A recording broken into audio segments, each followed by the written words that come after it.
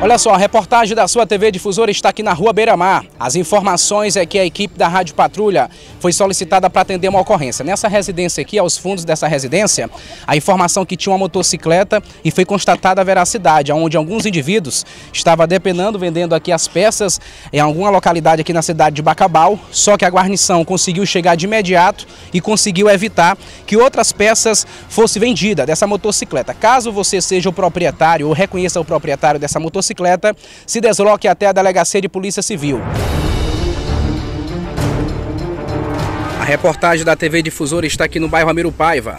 Aqui é a motocicleta que foi abandonada por parte dos indivíduos que praticaram assalto ou furtaram. Como vocês observam nas imagens aí, o pneu dianteiro da motocicleta foi tirado por parte dos elementos. As informações que aqui foi a localidade que eles trouxeram para desovar aqui as peças. No caso, fazer revender as peças aqui na cidade de Bacabal.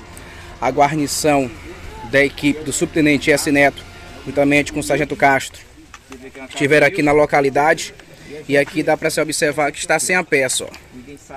Várias peças foram tiradas e até o momento a polícia ainda não tem a informação por parte quem seria aí os autores de ter praticado aí esse delito aqui na cidade de Bacabal. Se você reconhece o proprietário, se desloque até a delegacia de Polícia Civil de Bacabal.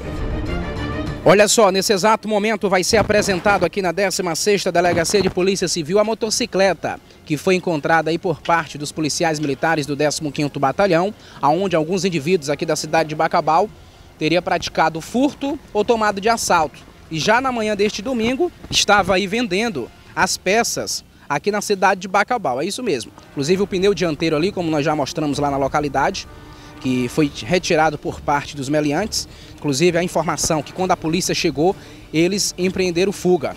Conversar aqui agora com o subtenente S. Neto, que atendeu aqui essa ocorrência na manhã deste domingo.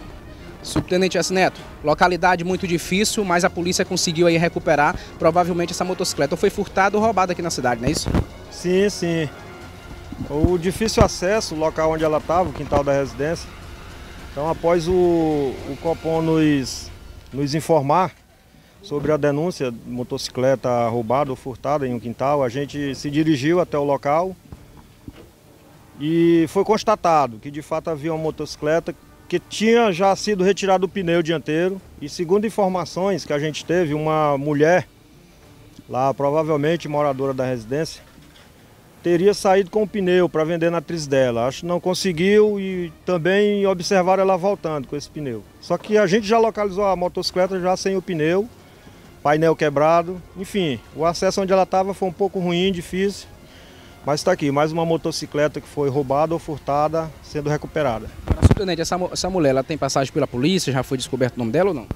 Não, ainda não. A gente não, não tem nenhuma informação a respeito não. Não posso nem falar nada sobre isso porque de fato a gente não tem. A princípio uma mulher teria participado na venda dessas peças, né?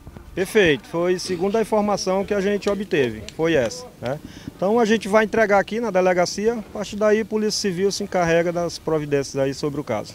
Obrigado ao subtenente Yassi Neto, que está apresentando a motocicleta aqui na localidade, após ter local de difícil acesso, aonde tinha muito Jorge lá. Jorge, todo mundo pisou em Jorge, até o Romarinho pisou em Jorge lá, aonde tinha lá na localidade.